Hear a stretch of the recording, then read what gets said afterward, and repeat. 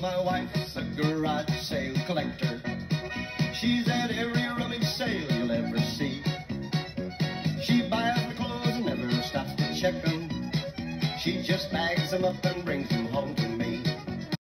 Hey everyone, welcome to my channel. It's Clay Rammage. This particular day, uh, going to the bins, we're going to do some shopping along here. But also, I met my friends Dustin from McFlipnship and Joe from I'd Flip That. Joe and Nicole uh, host that channel on YouTube, so be sure to check them out. I'll have a link to their channels in the description. So be sure to head over there and subscribe if you haven't already. Um, so we just kind of met up, go shopping, and then uh, at the end we meet together to kind of see what it is we uh, all found and who found the most valuable item which in this case it turned out to be Joe.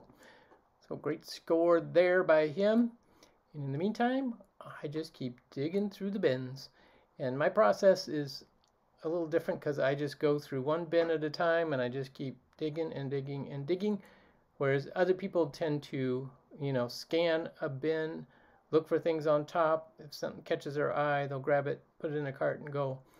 Um, I'm just like to be more methodical with my searches. I don't like running around a lot, so I just start at one, dig through it, move to the next one, dig through it, just keep going. I still use the same pattern I've been doing for years, and it works for me. So, um, you know, there's no one way to do it. There's multiple ways to do it, and everything works for whoever, you know, whatever way people have, it's going to work for them, and maybe not for me, but uh, one of the things I found, this is the very first bin, and I always seem to find good things in this first bin. Uh, these are some decoupage prints, um, still in the original package, so I picked them up. They're mushrooms, and this particular one was a cassette with a coloring book. Not sure what that was all about, but the cassette was missing, so really wasn't worth anything. So I was talking to another guy about it here. Um, then I keep digging in the same bin, finding more of these decoupage uh, items plus some other prints. So be sure to stay tuned till the end for the haul so you can see what all I pick up while I'm going through the bins here.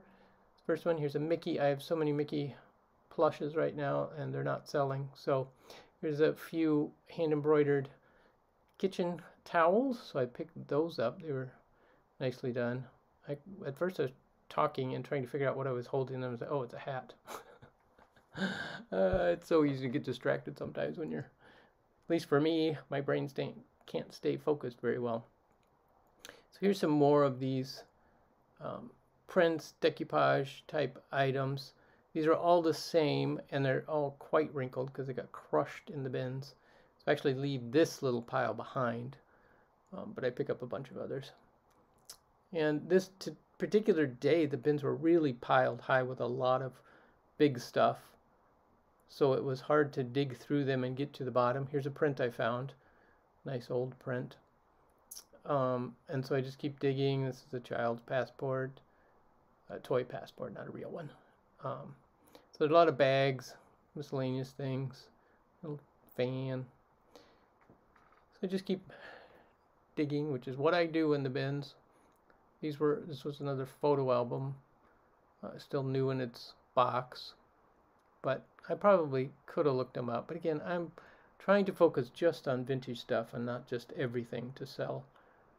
Um, this was really cool. It's a vintage candlestick holder, bicentennial version. So you know this is from 1976, uh, dating back to the period of 1776 that it's replicating. Uh, made in Taiwan, but I wasn't too impressed with it, so I left it. It wasn't very good quality. If it was a little better quality piece, then I might have picked it up. But I just didn't feel there was a good market for it. And just so you know, today I'm wearing my GoPro.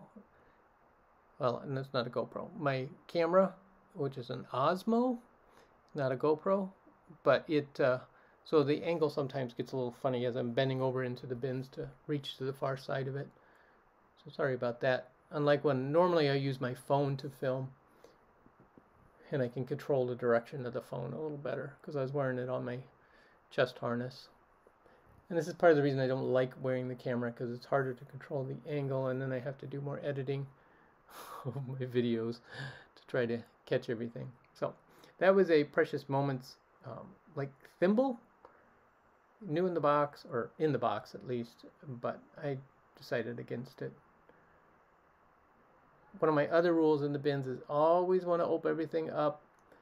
Any boxes, um, bags, like grocery store bags. I found some great stuff in uh, grocery store bags that are closed. A lot of these Ziploc baggies, I always look at those because you never know what you're going to find in there. Many times it's either small pieces of jewelry, toys, a lot of vintage toys. Um, I've even some, found some antique Christmas ornaments wrapped up and stuck in bags. In this case, see, what was that? Some thimbles. And I'm going to find another package here in a minute. Uh, thimbles are great sellers for me. It's a collector's market. I was looking at this. It's a hand-carved um, shell of some sort, but the base of it was broken. That's why I didn't take it. Otherwise, I might have. Um, it was kind of unique. So still digging, a lot of little plastic baggies I'm looking through with toys. Nothing that impresses me. I'm not a big toy guy, but if they're vintage, then I'd grab them, but haven't seen any. In this lot, here's a doll. Wasn't quite sure about it, but wasn't impressed. This is a Mickey photo album. Again, if I was out selling whatever, then that might have been a good pickup. But there, there's that other Ziploc baggie of thimbles. One of them was a Mexican silver thimble, which alone could be three to four dollars. I sold them both at the Pink Elephant and on eBay, so it's a collector's market that you know I think you could do on most any platform. And just checking to see, there's no name on this. Looks like a play school, but wasn't sure. No name, no date, so I decided to pass on it. And what you find in the bins is typically there's these little pockets of, you know, areas where they just got to dump donations. I didn't hit this end of the bin, so I go back because there was somebody at that end when I pulled up to it. So, anyways, I go back to see if I can find anything on this end. Hmm, so far, there's a whole bunch of, again, the little baggies with toys in it. Nothing exciting that I've found in those. Although I did pull out that little fuzzy bunny, and then later on I end up giving it to one of the other uh, pickers there because his he said his daughters love playing with those. So it was a specific brand.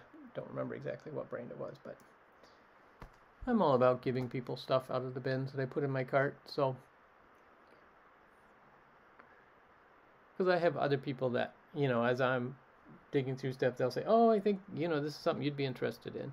Because there's not too many antique, vintage um, pickers there. Most of them are going for the electronics, the clothes, um, you know, or toys, different things. But as far as vintage items, not too many people are specifically looking for those for resale. There's certain things they'll look for, but not the kind of stuff that I look for typically. There's always a few people that pop in that are, but it's kind of my own little market. That's why I don't panic anymore when other people are going through the bins ahead of me, which I used to you know, not panic, but I used to be concerned like, oh, what am I missing out on? Now I'm just like, nah. If it's meant for me, I'll find it. It'll be there. Because I found some great stuff after the bins have been totally picked over. Again, because I have a different market than other people at the bins. So, so yeah, it was good. Here I run into Joe as he's going through stuff. We talk about this particular bin had somebody donated their old dollhouse. It was a vintage dollhouse, which you can see the bigger parts in this bin, but I decided not to get the big dollhouse, but I was picking up the dollhouse pieces because they were like, you know, 1970s date, 1970s, maybe early 80s. Um, but yeah, so I was excited to dig through to look for the dollhouse pieces. But the dollhouse itself was a huge thing. It did. It was all you know taken apart and into pieces. So then I'd have to try to figure out if I got all of the pieces as well. The other thing, there was also these little baggies of buttons, which I also pick up, and I put them in jars so that they. Uh, um, I sell them then as a lot in a jar, you know, or a bag or whatever down at the Pink Elephant, and uh, do well with them that way. People use them for crafts or making the little button trees, or button art, all sorts of different things. So it's a good time at the bins. There's a brief look at my card. Is this is when I give that little fuzzy animal to the other guy for his daughters. So that was good. And we talk about the doll furniture a little bit. I found these little tiny, you'll see them in the hall, little tiny Playmate coolers, which I'd never seen before. They were pretty cool.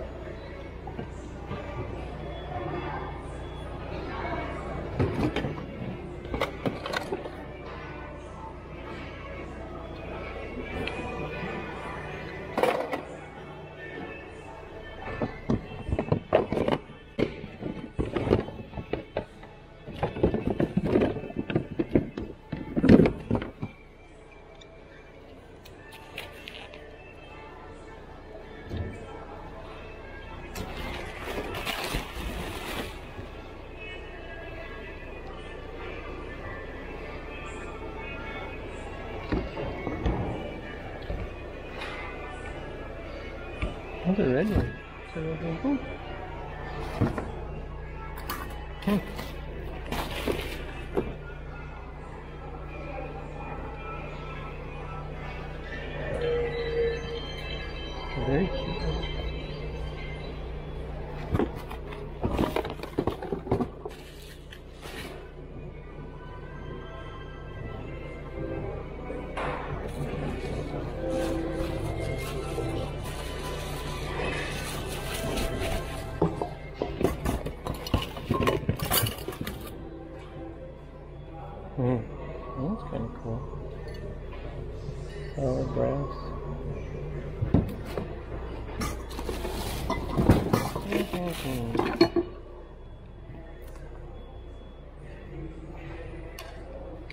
Refrigerator, so I got the full kitchen.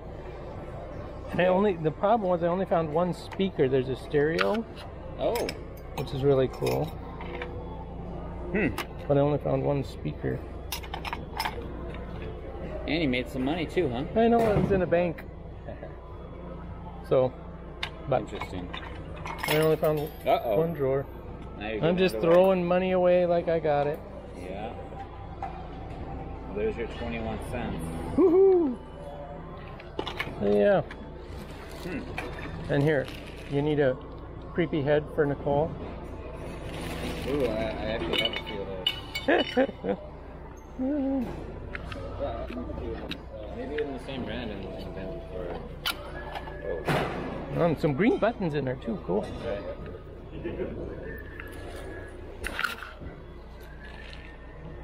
Mm. Yeah. I have another whole bag of those. I gotta get rid of them one of these days. Oh yeah, you got the spices. Yeah. Nice. Brand new. I saw that. Hey. Hey guys, as you can tell from our intro that this is our haul video from when I met Dustin from McFlipnship and Joe from I'd Flip That at the bins and we kind of had a little, I won't say a contest, but a, a competition of trying to see who could find the most valuable thing and I think Joe won. He found something worth about $150. Lucky him. Uh, me, I found things worth a couple dollars. but I'm excited about some of the stuff I found. There's some great vintage stuff today, which, you know, some days you never know. And you know me, I love my vintage stuff, and they didn't, um, it doesn't always pan out to get good vintage stuff, but today we did. So I'm excited about that. Found some great books. Um, and yeah, so I am just to hop into this.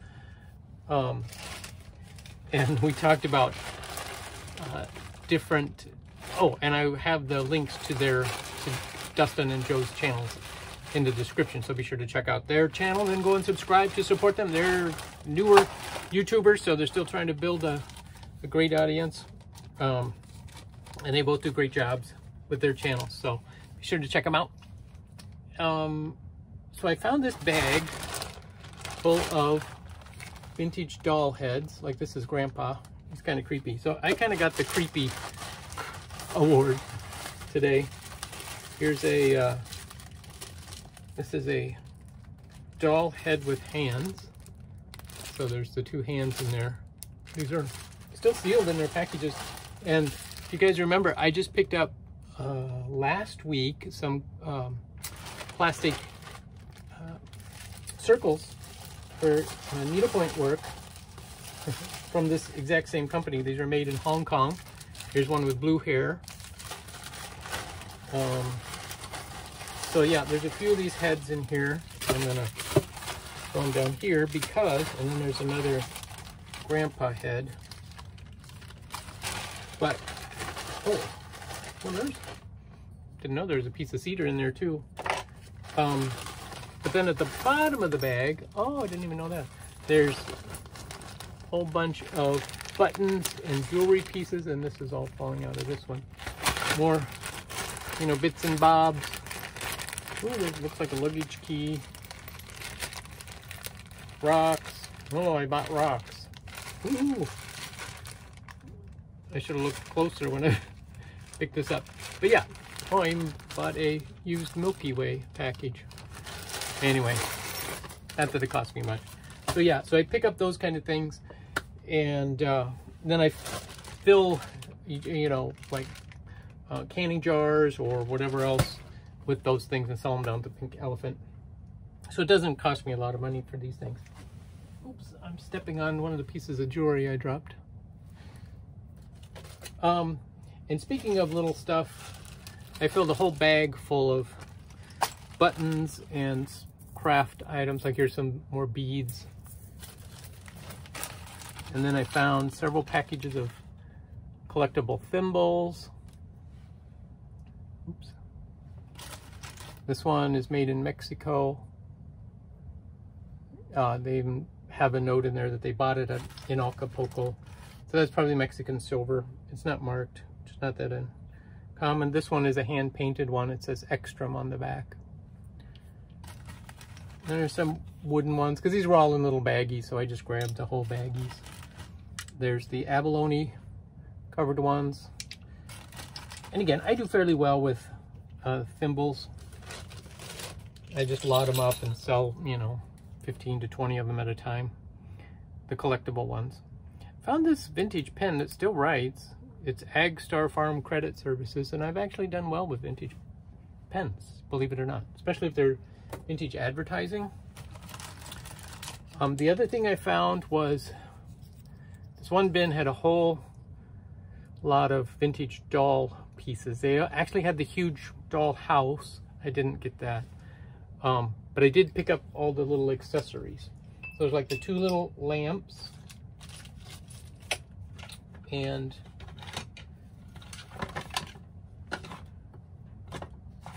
found the kitchen, which this is the refrigerator. Here's the stove and sink combination, or dishwasher. No, that's the stove. But here's another stove. It's interesting. Maybe it is a dishwasher. Yeah, it has to be the dishwasher because that's the stove matching the bright yellow and orange. And then also found the baby crib. Well, not really the crib, the little playpen.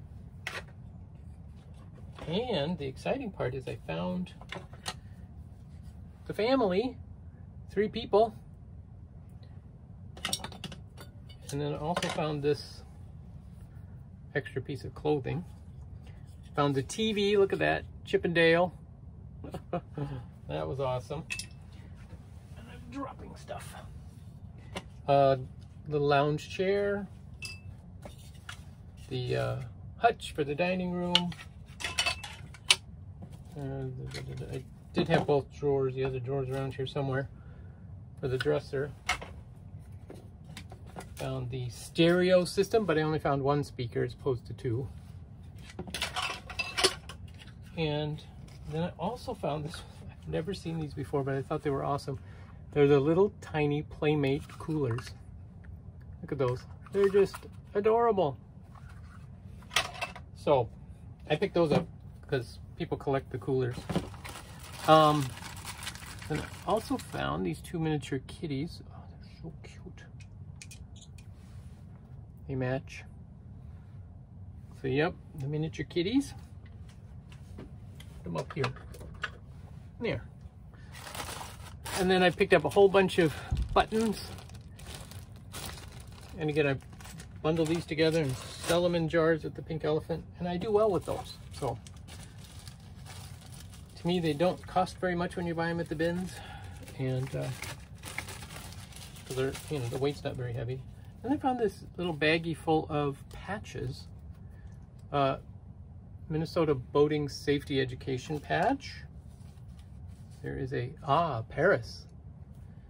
Paris, France. And here's just a France patch. And this is a sticker. Made in France sticker. What else do we have in this little baggie? Oh, little pins. Sugar Hills. So these are like little souvenir pins. Telemark USA, so it's a ski resort. Oh, here's a Disney pen.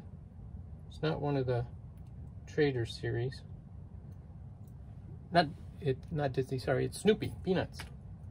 Getting my characters all mixed up. It's a Colorado pen. There's another Snoopy, Ski Bum. Telemark. So obviously this was all one person's collection. I have served Ramsey County Junior Sheriff. So, and then Keystone, another ski resort. So, those are fun little finds. And found a deck of playing cards, new sealed. Again, I pick these up when I find them. They cost me about 50 cents at the bins, and I sell them for four to five dollars a pack all the time. So, I also found this plastic uh, Native American woman. She must have been on something originally because she has two holes on the back that she probably would have stood on. Not sure what, but probably a souvenir piece originally, but it is an older piece. Um, I found this Kosta Boda votive holder. It's marked on the bottom, Kosta Boda. Um, know if you can see that in there. And it's quite heavy. So this, I, I never would have paid $5 for this at a garage sale, but I paid $5 for it at the bins. It's one of those things that your perspective gets off when you're at the bins sometimes. Stuff you wouldn't pay that much for at a garage sale, you'll pay at the bins. And vice versa. Stuff I may buy at, a, at the bins, I wouldn't buy, or the opposite. I'd buy at the garage sale, but I wouldn't buy at the bins. So I don't know. I found this vintage apron. It's a sheer fabric, sheer polka dot with black rickrack on it. Homemade piece. Very cute. Maybe my friend Tammy um, from Iowa could be interested in that. She probably has something like that one. Um, I also pick up these vintage, not vintage, these packages of Kleenex whenever I find them at the bins. Again, you don't pay anything for them. They're nice, just handy to have. And they're always, I'm always finding them at the bins. So I don't know what all that's about. Something's amiss. Puzzle. Um, brand new sealed. This is all candies. And the something amiss is that the picture on the front of the box, they have a whole series of these. The picture on the front is not the same as when you put the puzzle together. So there's some differences. So you kind of have to figure out what that difference is. Oh, I was going to look this up. Hootenanny Special. I found this record. I just love the title of it. But it does have big names like Pete Seeger, Bob Dylan, Clancy Brothers, and the Village Stompers. So there you go. It's a, it's a mix. Um, I did find some great books, which we'll get into in a minute. One of them's really bizarre, but you guys will enjoy it, I think. I picked this up. This is it says it's a sample. It is a lab coat. It's a disposable lab coat. And I thought, oh, how fun. But sometimes when you're working on things that are really dirty, especially around the house or whatever, you don't, you know, you could wear old clothes, but you could also wear like something like that. It doesn't hardly weigh anything, so I grabbed it. Picked up this little pattern. It, it wasn't in a pattern book, it was just by itself. So I grabbed it. That's the style. It's a beautifully elegant dress. Pretty old. And I also picked up these embroidered towels. There's three of them. That one with the floral design, this one with the little girl design, and then there's here's another floral design, all in their little plastic wrap, which I thought was pretty cool. I also picked up this. Um, I have not looked this up. This is, I don't even know where this is. Says solar rotary display stand. Oh. So it does take batteries. So you put the battery in there and then it spins around. I was like, this would be fun for my whatnot sales. So, and it's, oh, it's got solar here. So, see, it's turning with the light. You don't need a battery per se, but you can use a battery. But that's cool. I picked that up for my use. I think that would be fun. Oh, what else? I, oh, this, I'd never seen one of these before. It's called a Wilcox Gay home record. So these are ones that you could record at home if you had the proper equipment. You can make your own records. This one is recorded on this side. Um, it's got a big gash in it, but I was going to play it to see what's on there. The back side does not look like it was recorded. Um, but just to see what's on here. Some of these could go for big money. Especially, they have some that, you know, more famous artists did their own recordings on. You know, at they're home or whatever. So, um, found some vintage prints. There's this one, which is the Old National Pike. It was sold by Stevens Art Gallery in St. Paul. It's got a sticker on the back. It's kind of nice that it's in this plastic sleeve. And then Lee Ward's Needlework Fabrics and Crafts. So these are, um, this, this one looks like just a, this is a lithograph print. But some of these are decoupage prints. So like these. And I tried to sell them at the store. They didn't sell. There's that one. This one, the mushrooms, that should do well. Match A, match A. So you could do a long one on that. This is a another another mushroom. Mushrooms are popular. And there's this one, which is Anton Pieck. So somebody had a whole lot of those that then they never used. Um, and I looked, I found, why am I drawing a blank on his name? Kermit. I found Kermit, these are from 1980, uh, 1987. And this one, 1987, Henson Associates. Um, Fozzie, Fozzie the Bear. I knew he'd come to me eventually. So nice vintage plush. I also found a Star Wars character, but I gave that to Joe because he has a Star Wars room. So he was excited to get the Ewok plush. All right, I'm to get into the books. Now this may be a little creepy to some people, but I picked up this series. They're all on the same subject. So I'm going to lot these up and sell them. And you'd be surprised, they do sell. Harnessing the Earthworm. Indoor earthworm raising, made simple and inexpensive. Raising the African nightcrawler or tropical giant worm. How to raise two correct cash crops. Oh, I thought that was worms. It wasn't. Um, soilless worm bedding foundations. With Tails We Win, the Wonder Worm far Farmers, and Earthworm Selling and Shipping Guide. And these do sell. If you go out and search um, eBay Earthworm books. So I'm going to lot these all up. I paid We pay 60 cents an inch, so I paid, you know, about a dollar 25, if that, for all of these books. And uh, I think I could easily, you know, 10 times my money. Probably about $15 is what I would sell these out for. It's great information as well. Um, found this, a Christmas Brown, a Charlie Brown Christmas. This is a first edition, and it even says right in the beginning, first printing. So it's a first edition, first printing, 1965. These are 20 to $25 books. This one is not in the best of condition. The spine is a little twisty in it and some wear to the corners. But still, being the first printing, it's worth the money. A fifth picture book. I read the title I said, what in the world is this book about? I thought it was a cookbook. But it's not. It's actually a book about glass pictures. She has gone through and identified all of these different patterns on glass pictures, glass pictures, from years and years and years, and she did her own illustrations. So, she's a good artist.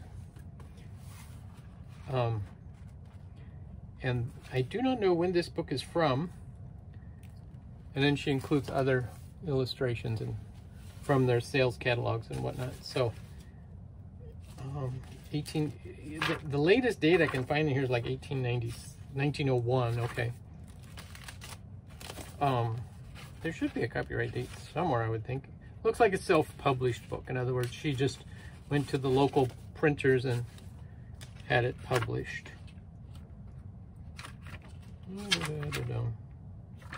I'm assuming based on the looks of it that it is probably from the 1950s, but can't tell you for sure. But it's a great reference book. Anyway, children's books, The Fox with Cold Feet. Found some paperbacks, Dennis the Menace. I spent a little over $30 today. Uh, the Pancake Cookbook. How about that? Uh, The Watershed. Now this book is probably a 15 to $20 paperback book. That's a good find. And then Up the Down Staircase um, by Kaufman, another great book.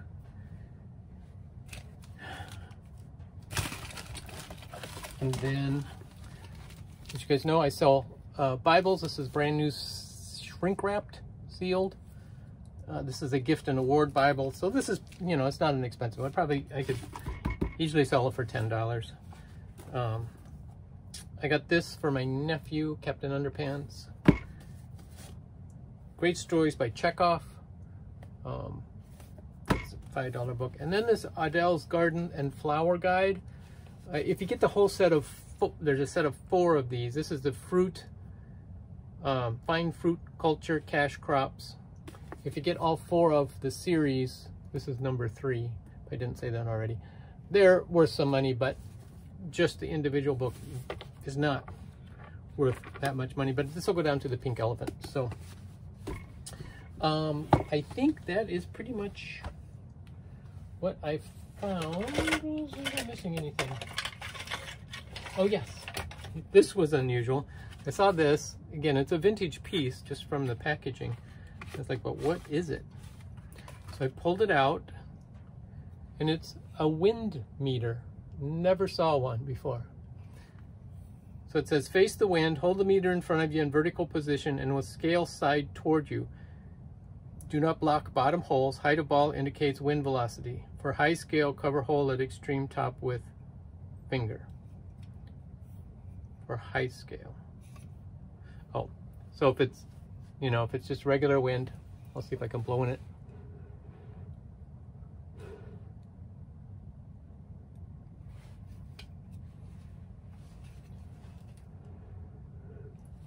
Let me say, hold the hole. I don't know why it's not moving.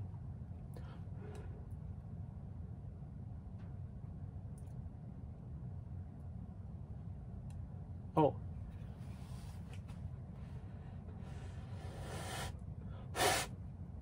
I have no idea. I guess I need to read the instructions as to which end works. static free, clean. Use pipe cleaners. That's why the pipe cleaners are in there. But yeah, I was like, oh, that's fun. I'll have to look that up and see what it's worth. But anyway, thank you guys so much for watching. I know it's a little longer video than usual, but it's a lot of fun. We'll catch you guys next time.